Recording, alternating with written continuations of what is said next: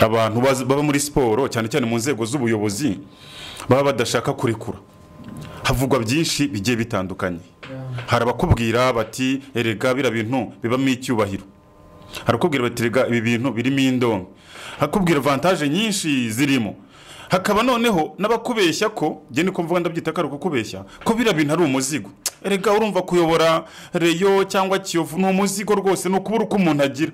Ariko wasanga ugasanga byanze bikunze hari ikindi kintu gishobora kuba kitari indonke z'amafaranga ariko cyihishe inyuma eh, y'icyo kintu. Y'uko gutsimbarara ku buyobozi bw'amakipe. Ibi byakunze kubaho. Ubwo rero uyu munsi twebwe twarebye turavuga tutese nta mu busesenguzi bwacu tubonamo ko harimo ikintu kijyanye n'amikoro kiba eh, gifata nk'urugero runini nk'igice kinini muri ibi kuko ikintu cyose wajyamo kitarimo amikoro akenshi igihe ukakibona. Nta nyungu na nto ugifitemo ku bijyanye n'amikoro. Impamvu turi kubivuga rero twabanje guhera nko kuri eh, nko ku baperezida bo muri za federasiyo mpuzamahanga zikomeye. Tutereke guhera mu by'iwacu duhereye kuri za federasiyo ziri mpuzamahanga twahereye nko kuri perezida wa wa fifa Gianni Infantino ni we uhari. Umushahara we mbumbe hariya ariko wawita. Eh, batarashyiraho ibindi. Ayo ya nyuma na nyuma ni miliyoni imwe n'igice y'amayero. Ni bivuga ko birenga miliyoni ni saleri ye ya buri kwezi. Hari ibindi agenda yemererwa kuko ndashaka ngo tugeranye nka sepu burateri wamubanjirije n'uyu infantino iyo ugeranyije ubona batandukanye cyane kuko uyu nguyu ubona ari make ugeranyije ko sepu burateri uba usanzwe nko guhera mu- nk'umushahara we wari uw'ibihumbi bibiri na cumi na gatanu zari miliyoni eshatu z'amadolari n'ibihumbi magana arindwi na mirongo itandatu ku kwezi. Yego. Eh, ubwo rero eh, bikagenda bizamuka wareba amafaranga bagenda babona eh, ukareba ibintu bagenda bahabwa ku ruhande ukavuga uti ntibyoroshye. Ni infantino rero we bivuga ko ubu ngubu ahembwa miliyoni n'igice nk'uko twari tubivuze. Make ugereranyije n'ayo mugenzi we? Eh, n'uwamubanjirije ugereranyije ubona ntaho byaba bihuriye ariko na yo si make. Kuko dushyize nko mu madolari niyo benshi bakunze gukoresha ubwo ni miliyoni imwe n'ibihumbi magana cyenda niyo yaba ahembwa. Eh, urumva uwamuhanira aba- ni nka miliyoni inarengaho yamurushaga. Eh, urabona avuyeho nabi nawe cyane rwose. Mhm. iyi saleri rero ikiyongeraho ibihumbi magana atanu na mirongo itanu mu- nko bibiri na cumi n'umunani infantino yagenewe bonasi yitwaye neza reka tuguhe nk'agahimbazamusyi ni nka purime yagenewe ibihumbi magana atanu mirongo itanu. Mu mwaka wabwo mbere yaho gatoya yari yarinjije yari yarahembwe nta bonasi yari imwe na magana atandatu na cumi. Mu madolari. Wageranye ukumva ko burata asa nkaho yagendaga amukuba nka kabiri. Kuko burateri hari ibindi bintu byagendaga byiyongeraho nk'utubonasi yagiye ahabwa byonyine igikombe cy'isi cya bibiri na cumi baramubwiye bati witwaye neza iki gikombe kigenze neza fata n'izi miliyoni cumi n'imwe z'amadolari. Eh, bigeze mu cyo bibiri na cumi na kane hashyirwaho izindi cumi n'ebyiri avuga ati rwose wa mushahara wabonaga. Ariko n'iyi bonasi n'akagambaza musika miliyoni cumi n'ebyiri z'amadolari ntikakugwa nabi. Ibyo byose rero bikagenda bigaragaza uburyo eh, muri izi instance mpuzamahanga ubwo mu mupira w'amaguru ni ho bikunze kugaragara cyane uba usanga amafaranga rwose yivugira. Ntibinarangira aho ngaho kuko izi nzego zirinjiza cyane ukagenda ukabona buri mwaka n'urugero nka fifa ubwayo bitewe n'uko hari nk'umwaka wabayemo n'igikombe cy'isi giheruka cyari cya bibiri na cumi n'umunani. Ni ukuvuga ngo burya fifa icyo gihe yinjije miliyoni ibihumbi bitandatu magana ane z'amadolari. Miliyoni ibihumbi bitandatu na magana ane. Ntabwo ari miliyoni esheshatu. Ni miliyoni ibihumbi bitandatu na magana ane mu madolari. Urumva ko ni amafaranga y'umurengera. Niyo mpamvu iyo twumvise ngo urumva ngo fifa yageneye ngo ferwafa ngo indi miliyoni n'igice ngo yasangaga ya miliyoni yari igize. Ni amafaranga make cyane ukubye federasiyo zigera kuri magana abiri na cumi tumaze n'izigenda zivuka nshya. Ni urusenda ukurikije ukubye aba make ukurikije n'abo binjiza. Eh, ubwo rero aho ngaho twari tugiye kureba eh, uburyo eh, aya mafaranga bagenda binjiza ndetse ni menshi cyane. Noneho tukibaza se uwo mushahara nta muperezida n'umwe ku isi uwuhembwa. Nta nubwo perezida wenda uwo ari we wese kuri iyi si twajya kumugeranya n'aba baperezida ba fifa. Ibyo byaba ari bi- bi- bi- bikabije cyane. Perezida wa fifa mugereranye eh, mugereranye n'aba bombe perezida wa fifa. Tumushyire ku ruhande kuko ararenze. Ahubwo tujye nko ku baperezida b'amakonfederasiyo zino za kafu nk'ubu hari uwitwa ahmad ahmad. Yigeze gutangaza ko ngo nta mushahara ashaka kugira ngo mwaribonye agitorwa avuga ati igihe by'umushahara ku ruhande. Ariko mu minsi yashize haje ikibazo cyagiye hazamo sinzi ukuntu byageze haba impapuro zasohotse bavuga bati ngo yihaye ngo prime ngo byagenze gute? Nabwo mwaribonye. Byatumye abantu bamenya exact uko bimeze. Eh, ndetse icyo gihe BBC yaje gusohora eh, urutonde rwerekana ko Ahmad yagenerwaga buri kwezi ibihumbi mirongo ine by'amadolari. Ku mwaka bihita ibihumbi magana ane na mirongo inani bivuga ko yaba arusha perezida wa leta zunze ubumwe za amerika umushahara ni ukuvuga icyo gihe ko perezida wa leta zunze ubumwe za amerika icyo gihe we muri iyo periyode agenerwa ibihumbi magana ane eh, by'amadolari. Kandi ubwo perezida wa kafu agenerwa ibindi bihumbi mirongo inani nka bonasi y'amanama agiye yitabira. Eh, cyane cyane izi zo nyine zo muri afurika aho rero urumva ko mu rwego rwa kafu urumva ko bikomeye niba perezida wa kafu arusha perezida wa leta zunze amerika umushahara mu busanzwe. Ubwo murumva uwo muntu yazapfa kurekura byoroshye. Ariko ibyo biyongeraho izindi pirivireje uyu munsi nka ahmad ntekereza ko ataraba perezida wa kafu n'abanyamakuru benshi ntibari bamuzi. Kuko yabaga muri kafu ariko ari aho inyuma. Nta muntu uzi ibye. Ariko ubu abereye perezida wa kafu. Ni ukuvuga ngo nta perezida n'umwe ahubwo wo muri afurika atanaganira nawe nk'uko uganira na mugenzi wawe. Ajyayo uko ashatse kandi mu byubahiro ndetse n'umutekano wo ku rwego rwo hejuru. Urumva uburyo aba bataramu ba- bafite ibindi byubahiro biba birengaho. Kuko hari amahoteli meza ya rikisi adasanzwe hari kugenda yatagiye mu ma private jet indege zihariye. Bagenda muri business class muri handi mu ndege hamwe nabwo ngo haba nabwo uburyo ubuzima burarutana. Eh. Sizi hari umuntu bwarunguruke nko muri business class. Yego. dore ko akenshi mu ndege hari n'igihe aho mwinjira bo muri economy hamwe hasanzwe navuga ngo muri ba rubanda. Eh, hari igihe mugira biterwa n'indege nabwo ubuciririke bwazo. Eh, iyo indege iciriritseho mushobora guteraho ijisho mukahabona ndetse ba- bakaba banarya cyangwa bakanywa mubabona. Eh, ariko ubusanzwe hari izubakitse ku buryo n'aho mwinjira si hamwe. Eh, ibyo munywa si bimwe. Uburyo we yemerewe kuryama akaruhuka uburyo yitabwaho si bimwe.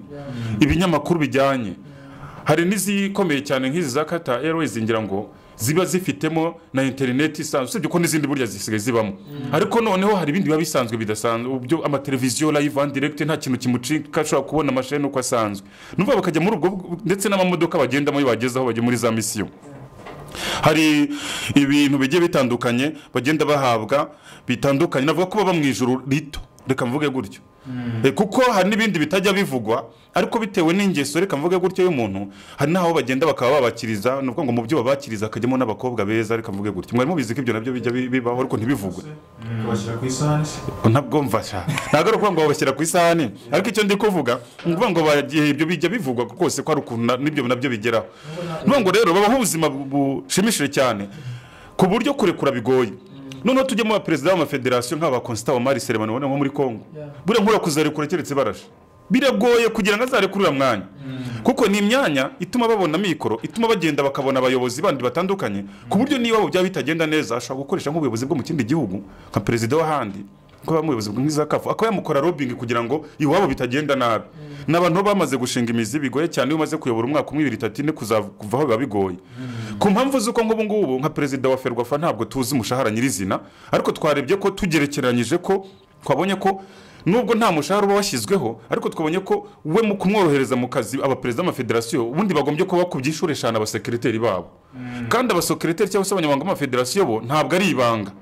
Bo bemererwa kuba ba- ni ukuvuga ngo ni ibihumbi bibiri by'amadolari muri rusange hano muri afurika amafederasiyo bivuga ngo ugiye kugerageza kuri perezida wa fifa icyo gihe byakwikuba gatanu. Byaba ibihumbi icumi. Ugereranyije. Ku kwezi? Eh, ku kwezi. Bakora menshi kandi nkubwira ko aba- aba- abasekereteri ubwabo ni ukuvuga ngo ni bibiri. Ntabwo yaba ari menshi rero. Cyane. Eh. umusekereteri ari bibiri Eh? agomba kuza. Ya, urumva rero ni amafaranga menshi. Bikongera ko uzi ko muri kafu bagira amanama. Inama yo guseja ni ibihumbi makumyabiri. Makumyabiri. Ayo ngayo na yo uhabwa nk'imperekeza ibindi byose byaritaweho bameze ngo yaraye hano heza yakiriwe neza yitaweho neza yaritsamuye baramubwira ngo urakire ibintu byose uzi bishoboka Mm. urumva rero ibihumbi makumyabiri by'amadolari byo kwatendinga inama ubwabyo ni miliyoni makumyabiri ubone icyarimwe inama yo zibaye ebyiri kuko akenshi hakunze kuba inteko rusange isanzwe n'idasanzwe akenshi bikaba ibihumbi mirongo ine. Ubwo ni miliyoni mirongo ine ukoreye uta- utavunitse. Kongeraho emisiyo nanone federasiyo z'iwanyu na byo burya kenshi na za buriya agiye kugenda hari ibindi hari andi mamisiyo apangwa. Ibyo rero ni amafaranga. Ni abantu bake bashobora kuyunguka nta risike ataraye amajoro ataraye muri za duwane adeduwane ibicuruzwa bye. Na risike atasinzire ngo kontineri ze ziraza kugwa ngo imodoka ikamyo ngo iraza kugonga umuhanda. Ibintu nk'ibyo ngibyo. Urumva rero eh, icyo kintu kikwereka uburyo eh, abaperezida b'amafederasiyo baba babayeho neza. Impamvu kirakwereka ko bikabije ni ukuvuga ngo ibyo tubona ni ibito bishoboka. Reka mbahe urugero. Dufate nka murinda habi. Ntabwo ari mu buyobozi bw'umupira hano mu rwanda. Wubayemo ubu ngubu ajya muri za kafu kuko yabaye muri ferwafa aza kubona akanya ko kujya muri kafu iyo bagiyeyo igihe bashobora kumarayo gito gishoboka ni iminsi mirongo itatu. Hari iminsi ibanza yo gutegura n'iki? Habaye nk'irushanwa rya cane tuvuge. Hari izaza nyuma bakora amaraporo berekana uko ibintu byagenze hari n'iyo bahaba. Tu- ni ukuvuga ngo dukuyemo ibindi byose agomba gukorerwa kugira ngo akazi kagende neza kominikasiyo ahantu haba hadasanzwe buri kintu cyose hiyongeraho amadolari magana ane ku munsi. Bivuga ko cya gihe nibura umuntu nka murinda twavuga ngo uciriritse dukoresheje iryo jambo ntabwo aciriritse ariko turavuga paraporo ya bya bifi binini twavuze bindi. Aba ari bucyure ibihumbi cumi na bibiri by'amadolari ku ruhande. Uhereye kuri ya Eh. magana ane. Uhereye kuri ya magana ane kuko bayabara ku munsi kandi ibindi ni ukuvuga ngo ibyo ngibyo ni nko twavuga ngo ni nko kugira ngo ni nka rejade dupashe kugira ngo ataza kugira ngo akore nyine atuje. Nk'isimbura mu byizi yindi. Eh. cumi na bibiri kandi hashobora kuba amarushanwa nk'atanu ukajyamo muri atatu muri ayo. Twavuga ko ibyo bintu ari ibintu koko kandi nta ngaro bizigira bigira. Si ibintu bazavuga ngo yanyereje umutungo yagize gute. Ubwo ibyo bintu ntiyaba ari kimwe mu bintu cyangwa kifashe runini cyane nko ku gihe cya mirongo inani ku ijana byo kugira ngo abantu batazatsimbarare ntibari kure. Ibintu wabyemeza Mm. kubera iki? Mm. kubera wari umaze gusoza. Kubera yuko amafaranga mugari turabizi biragira ntabwo nari maze gusoza neza nagira ngo nkavireho rimwe. Icyo navugaga kindi cya nyuma ibyo bya mikoro mubyumviseho ariko hari ibindi byubahiro twagiye tuvuga ubwo ntabwo twatanze urugero ku makipe asanzwe. Uyu munsi reka mbaho urugero rufatika. Dufate nk'umuntu bita munyakazi sadate ubu ngubu muri reyo harimo ku bintu bivugwa byinshi cyane. Bakavuga ati sadate yageze gutya. Ariko se sadate ataraza muri reyo? Mwarimo muzi. Twese hano muri studio ndahamya ko twarahira imbere y'imana ko tutari tuzi izina sadate ataraza muri reyo cyane abenshi baranatunguwe. Niba rero bituriyeho nk'abanyamakuru ni ukuvuga ngo n'abandi banyareyo n'abareyo ku kigero cya mirongo icyenda n'icyenda n'ibice icyenda ntibari bamuzi. Ariko uyu munsi tuvugana sadate ntiyareka kureyobora reyo mu nzira imwe cyangwa indi ntabwo ntabwo akuyemo izina ubwabyo. Tutite ngo ryaba ribi cyangwa ryiza ariko rizaba riruta. Rikubye mu buryo buri exponentiel budasanzwe urwego yari ariho. Uyu munsi niyo yava bavuga bati reyo yarayigambaniye n'urugero rufatika. Ariko hashobora kuba hari igice cy'abafana batabibona uko. Cyangwa nk'icya kabiri cyangwa se bakaba babana benshi. Bakavuga ati reka ahubwo yari aje kuyivugurura. Yakubita akabari nk'ahantu cyangwa bizinesi iyi? N'iyi bakazaba barimo bavuga ati wari umugabo sha. Ni uko nguko bigenda. Ubundi mu buzima barakubwira ati niba uciye ahantu hace ku buryo umuntu wese amenya ko wahanyuze.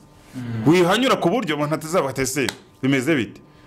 Ubwo rero ni urugero nari mbahaye ushobora kudakuramo amikoro direkite ariko ugakuramo ibirenze amikoro kandi na byo bizabyara amikoro. Eh, ni icyo rero nashakaga kuvuga ese ubwo ntibyaba ari ibyo byubahiro? Cyangwa se ugasanga wenda nk'umuntu araje aje kuyobora ikipe iciriritse twavuga nk'ihera? Eh, nka gicumbi.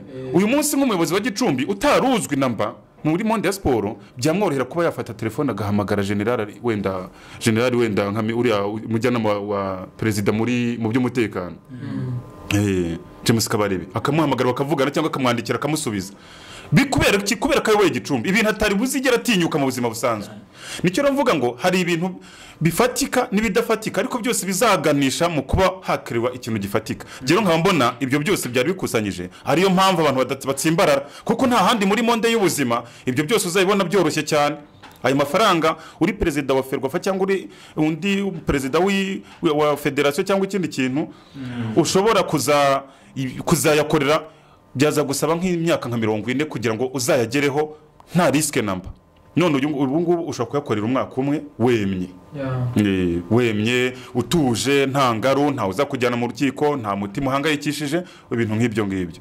Mbona rero icyo kintu kuko ubundi buzima busanzwe buragoye. Ntuzacuruza ngo wunguke mu gihe cy'amezi atandatu wunguke miliyoni makumyabiri cyangwa mirongo ine zitarimo ingaro. Kandi ibyo twabibonye ni ize inama gusa. Tutarebye ya yandi yo ya buri kwezi. Bishobora kugera muri miliyoni n'ijana reka. Cyangwa magana abiri turamutse tudufashe kutarya utanywa. Ushobora gusanga nka perezida wa federasiyo ashobora kubona hagati ya miliyoni ubwo zaba ari nka mirongo inani wenda n'ijana na mirongo itanu. Zidafite ikintu nta muntu n'umwe uzi- nta oditeri uzaza kukubwira ngo urafunga aba- ibindi byaba ari ku ruhande kandi ubwo ibyo turi kubivuga dufashe ko umuntu abantu bose bari muri siporo ari inyangamugayo. Ariko reka dufate ko atari inyangamugayo. Uyu munsi muri iki gihe wenda dufashe nka periyode wenda nka federasiyo uyu munsi kuba batorwa kuzageza wenda mu mpera za manda yabo ntibazabuze miliyari icumi zibanyuze mu ntoki zi- ziturutse muri za fifa. Zirimo nko ku- kuvuga uriya hoteli ikarangira ikava mu nzira kwishyura ya myenda ibijyanye no muri covid ibyo bintu byose bavuga ngo byose bikaba byazagera muri ayo ngayo. Uramutse noneho hatajeho cy'ubunyangamugayo ko ari ayo yandi twabonaga noneho ukajya ugatanga amasoko cyangwa ukagira gute? Ni ibyo rero. Navugaga ko mbona bigoye kugira ngo umuntu azagira atya arekure. namwe rero sinzi icyo mwabivugaho kuko yari deba nini umuntu wese yafata nk'iminota nk'iyitanu ujya umenya nanayirengeje cyangwa se atanayigezaho byaterwa n'ibitekerezo umuntu agiye kuduha none tukaza kubona nuko dusoma ibitekerezo byo bagiye batwohereza kuri za facebook. Ni na byiza kugira ngo tu- tunifashe n'ingero ibyo twanahereye ngo ubundi wa mugani burya iyo uvuze ikintu ukanatanga n'urugero biranafasha cyane. Wenda ntabwo umuntu yagenda kuri ibyo ngibyo ngo ni byo byatumye agenda ariko umuntu mu nyurabwenge wenda tugende mu ngero za vuba tugende mu makonfederasiyo ariko cyangwa mu mafederasiyo mpuzamahanga mm, ni ho njye nshaka kwibanda reka ninde kujya mu ma ekipe Eh, turabizi wenda utanze mu kanya gato kuri n'umutaramu w'umunyamadagascar Mm. uwo bita ahmad ahmad uburyo yaje kuyobora kafu kugira ngo turabizi ni nyuma y'uko bari kuyobora umusaza wo muri kameruni nawe waranze kuva kuri ino ngoma cyangwa se kuri ino ntebe yo kuyobora kafu Mm, cyane. Yaremeraga aga- agahunyiriza mu kibuga. agahunyiriza agasinzira amaci iri kuba abantu barabyibuka. Anatinywa eh, anatinywa n'abanyamakuru ko ati uramukritika leta irajyamo. yakangukaga yasanga bamuvuzeho ugahita usohoka baramukritikaga ahubwo bikakugiraho ingaruka kubera ko federasiyo urimo. Nibo babijyagamo ati nta soni watinya gukora ibintu nka biriya byumvikana yuko rero cya kintu kijyanye n'amafaranga. Ndetse n'iyo privilege nayo ubwayo ari ikintu gikomeye cyane gituma bahabwa n'abaperezida b'amafederasiyo batavaho. Kubera yuko ntabwo anyumvise ukuntu umuntu ashobora kumara imyaka irenga mirongo itatu ku mwanya runaka bigaragara ko atagishoboye kongera ngo natwe nk'abanyamakuru twaraga tunenga kafu. Hose ndi gutuna champions league idatera imbere muri kafu. Ukabona haracyaba imikino ya rene turu ugasanga nta kintu kijyanye no kuba hari ivugurura ryabo muri kafu mu myaka yayoboye. Kandi burya uko imyaka igenda n'iterambere riza niko mu mafederasiyo runaka cyangwa se mu makonfederasiyo haba amavugurura ugasanga rero yatinzeho kubera izo mpamvu. Ntabwo wenda ujya ku ruhande rwa wenda ku se nk'utandukanyije nawe ibitekerezo kubera yuko n'ubundi ku muntu urebera hafi y'umupira w'amaguru wenda ikintu kiba gitandukanye n'icy'undi ni uko eh, izo detaye yabona ngahe ariko ikigaragara ni uko nyine yaba privilege ubwo ndavuga icyubahiro akuramo wa mugari sinya ko nka Mohamed Ahmad iyo ataba perezida federasiyo yari kuza wenda akavugana n'umuperezida runaka ngo baganire kuko nyine ari muri kafa kure. Hanyuma no muri FIFA nuko byagenze rero burateri uzi ko hari na benshi hari FBI yabigiyemo kugira ngo anaveho Eh, nuko byagenze. Urumva rero icyo kintu ubwacyo gituma mugani kuba bagundira cyangwa se bavaho bitinze ari cyo kiba ikibazo Eh, dore ko n'ibintu bajyamo akenshi baba ari ibintu bategeyemo ari abaruru babijyamo nyine basanzwe babibamo ariko wenda posite ikaba itandukanye. Bagera kuri uwo mwanya nabo ngo uri kuri iyindi eh, bikaba ikibazo kuvaho. Eh, nubwo atari bose. Ubundi twatanze ingero z'abantu nyine bagiye baba eh, ikibazo kuvaho bitewe n'uko nyine byagiye bikomera cyane kugira ngo n'ubundi eh, baveho. Ubwo ni muri football turi kwibanda gusa. Ariko Eh, Regis urabyibuka wigize kuduha n'urugero mu bijyanye na atletism hano mu Rwanda. Urabyibuka ni ku uriya mugabo yitwa nde tugiye boherezaga ibihumbi cumi na bitanu Eh. by'amadolari ariko wajya muri misiyo ugahabwa ibindi bitanu. Mu bitanu. Eh, hari umutarama wayoboraga federasiyo ya atletism ntare cyangwa Ntare. nkeza sinkeza wandi wavuyeho wa musaza. wavuyeho Wa musaza byakomeje akageza ko nyuma haza ntare eh, wari umupolisi. Eh, Mm. ajya kuza byagenze bite? Haza nawe witwa ba kayitsinga nyuma yaho. Eh, urumva ariko nawe yavuyeho bitari neza. Urabyibuka nyine nta mushinwa yari yateguwe akaza kuburizwamo bitewe n'uko hatabagaho kumvikana ko wari ugiye kuvaho ndetse n'uwari ugiye kujyaho. Byo ubwabyo byerekana yuko nyine kuba wagundira ndetse n'abanagumaho eh, biterwa n'inyungu uba ufite ndetse rimwe na rimwe ugasanga eh, kuzi kuvaho nyine birakubirana ikibazo. Njyewe nuko mbibona privilege n'amafaranga. Icyo mbona ni uko nanda kuba ngenda k'uwo mujyo eh, iyo urebye usanga ku mafaranga aturuka mu mpuzamashyirahamwe aba ari menshi. Twagiye tureba wenda aho aturuka uko bahembwa ndetse kandi eh, ahanini usanga ari amapubulisite imikino yakinishijwe. Ndavuga wenda nka fifa nkavuga nka fiba n'izindi mpuzamashyirahamwe zitandukanye ku rwego rw'isi. Eh, gusa iyo ayo mafaranga aje mu mashyirahamwe usanga ariho haba ikibazo. Nk'ubu ngubu wajya kureba ugasanga eh, nk'urugero nka fifa. Fifa ikazohereza amafaranga kuba bati wenda zaza ari muri projet goro iyo projet goro tuzi neza yuko fifa irigenga. Ntabwo leta igomba kwivanga mu mikorere ya fifa kuko iyo yivanze leta yivanze mu mikorere y'ishyirahamwe baraza guhana igihugu. Aha rero ugasanga kutaba ishyirahamwe ritamenyekanisha uko ryakoresheje amafaranga biza kuba ikibazo cyangwa se bishobora kuza gutuma nyine n'ayo mafaranga anyerezwa n'abantu bakaba bakomeza kugenda bigumira mu byo bakora bakanaryoherwa. Aha nkaza kugenda ngaruka ku ngero aho naza gufata wenda nk'umupira w'amaguru nk'ibirwa bya tonga. Mbere y'uko cyangwa se cya gihe cya saga ya sepurateri muzi neza y'uko hagiye hagaragara byinshi ukuntu amafaranga agiye akoreshwa ukuntu amafaranga yagiye anyerezwa. Ariko ibirwa bya tonga mu myaka y'ibihumbi bibiri na kane perezida w'ibirwa bya ntabwo ari ikirwa twavuga ko gikomeye mu mupira w'amaguru ariko hari amafaranga nka fifa igenera amashyirahamwe barayamuhaye ngo bateze imbere umupira w'amaguru mu birwa bya tonga. Warayafata mu magana atanu by'amadolari yubakamo inzu. Iyo nzu ahita ayikodesha. Ishyirahamwe riba ari naryo rikoreramo ndetse kandi n'ibindi bikorwa bitandukanye agenda abikora yiyitiriye icyo kintu nyine ko ayo mafaranga yahawe. Nkaza kugenda ngaragaza yuko mubona yuko uwo muntu byanze bikunze kumubwira ngo vaho biragoranye bitewe n'ukuntu yabonye ko harimo akaryo. Hanyuma noneho nkaza kugaruka ku bijyanye na atletism urabyibuka eh, mu myaka za bibiri n'icyenda eh, kanyuza yaje kubivugaho. Bamwe baravuga ati muveho natwe tujyeho. Abandi ati twebwe turabakorerabushake umukorerabushake udashaka kuvaho bimeze bite? Eh, aho ugasanga rero ni ikibazo. Kumva ko umuntu akorera ubushake ariko adashaka kuba yava kuri izo nshingano ngo hajye undi mukorerabushake urumva rero ko byanze bikunze aho ngaho hashobora kuba harimo inyungu ziba zihishe ariko umuntu uzirimo aba azi neza icyo aza kuba yakamamo. Ibyo rero nkaza kubigarukaho ngana wenda mu, mu rwanda no twenda twaza kuba tuvuga. Urabyibuka neza regisi mu myaka yashize. Visi perezida eh, icyo gihe ndumva yarera wuri gisanura avuga ati ni gute perezida ajya muri misiyo wenyine? Nawe ati nanjye ndashaka kugenda. Urumva rero byanze bikunze ko harimo akantu gashobora kuba nk'uko regisi bigarutse avuga ati iyo wagiye witabiriye inama hari ayo ugenerwa cyangwa se bakubwira ati eh, urakire witsamuye. Byerekana ko rero ahangaha byanze bikunze mu gihe izi mpuzamashyirahamwe zitaza kuba zakwegera wenda leta mu bihugu bitandukanye ngo bakorane baracunga cyangwa se bagaragarizwe icyo amafaranga yatanzwe yakoreshejwe. Ahangaha byanze bikunze. Kugira ngo uzabone umuntu avuga ko yavuyeho ku bwende bwe bizagorana. Kuko urabyibuka mu bihugu nka za Ghana mu bihugu bitandukanye muri afurika hari aho leta yagiye ivuga ati twebwe turashaka kuba twakuraho federasiyo. Abagize federasiyo bayiyoboye runaka runaka bo bakanga ugasanga harimo nk'amafederasiyo abiri.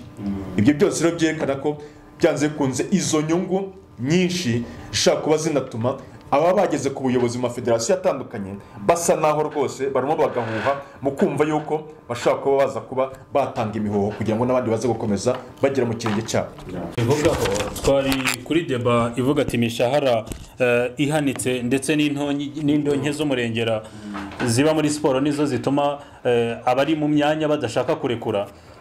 Hari ikintu kigeze kuba? Ejo bundi muri kafu wenda ni n'ikintu gikomeye.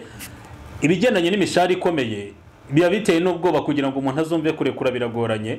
Hari famiye y'abagabo b'abanyamisiri eh, twaherukaga kumva nyakwigendera amuri fahmi ni umugabo wa resiji muri kafu yitabye imana ku myaka mirongo itatu n'irindwi ejo bundi. Yitabye imana mbere gato y'uko yitaba imana yari yamaze gutangaza ko nawe agomba gutanga kandidatire ye muri muri kafu kujya noneho yajya ku buyobozi bwa kafu aravuga ati muri esiji cyangwa se muri mu mwanya wa sekiriteri generale ntabwo njye mbikozwa.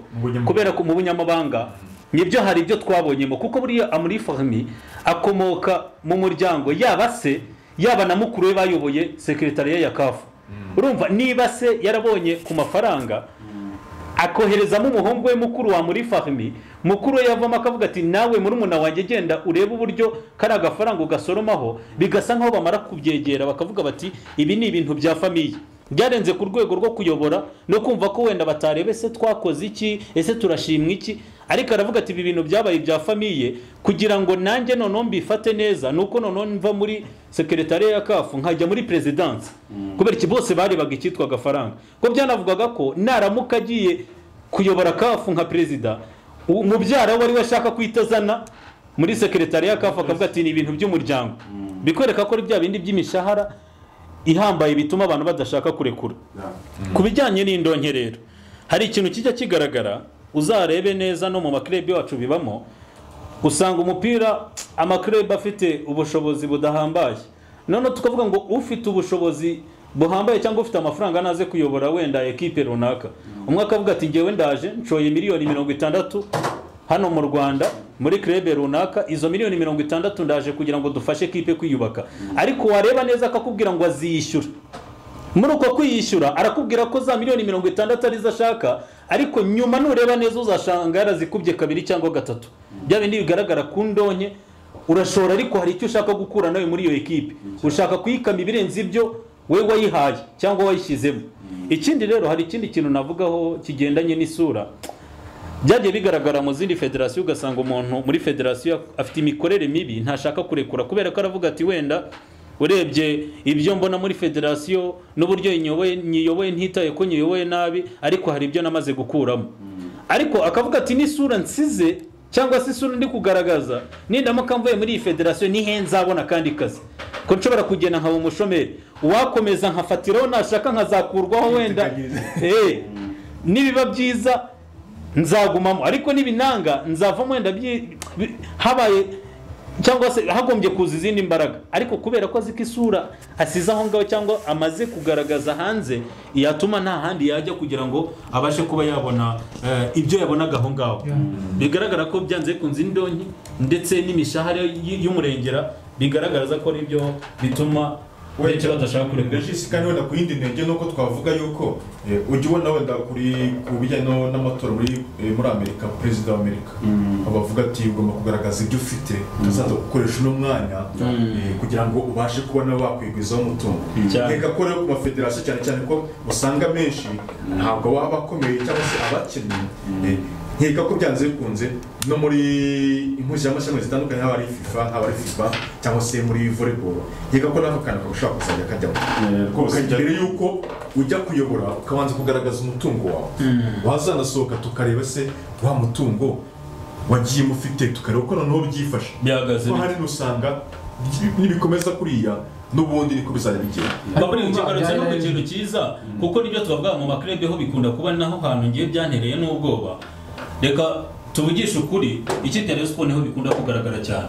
Tukavuga ngo umuyobozi aje mu ikipe ya Rayon Sport ni byo asanze wenda abandi ntabyo bakoze cyangwa se ntabyo basize akavuga ati biransaba gushyiramo ayanjye ariko wareba ugasanga ayo mafaranga yashyizemo amaze imyaka itatu muri ekipe arakubwira ko akishyura ati baracyanyishyura. Amatransferi akorwa ureba ugasanga nta transfer ikorwa ngo ubone sheke yaturutse mu ikipe. Uzabona sheke yaturutse oye Eh, uzabona sheke yaturutse ku ki ku munyamuryango ku mufana cyangwa se ku muperezida kugira ngo rero uwo muntu uzavuga ngo ntabwo azava mu ikipe atishyuye cyaba byaba ikibazo bizagorana. Niyo sirikire ariko idahamye tujye tuvuga nyine mu makirebe Yeah. byatuma nyine wa mugani buri muntu ashobora gufata inshingano bitewe n'uko nyine karabu ukuntu yubakitse ubwe ikipe nta mafaranga ifite n'urugero akaba yayitanga noneho bikazagenda gutyo bikaba rutine no ku bandi bazamusimbura. Eh, rero mu kanya ubwo namwe mwagiye mudukurikirana mutwunganira ku mutwungura ibitekerezo. Hano ko dushimira abafatanyabikorwa bacu ni benshi cyane barimo ekomemo limited. Aba ngaba bakaba bafite kandagira ukarabe ijyanye n'igihe rwose ivugura imeze neza ifite ububiko bw'isabune swime yo kwihanaguza tanki ijyamo amazi meza gutyo gutyo. Imeze neza cyane mu maresitora amashuri amavuriro n'ahandi henshi mujye muri ekomemu cyangwa se muhamagare zeru karindwi iminani n'ibiri irindwi na gatanu itandatu na kabiri icumi.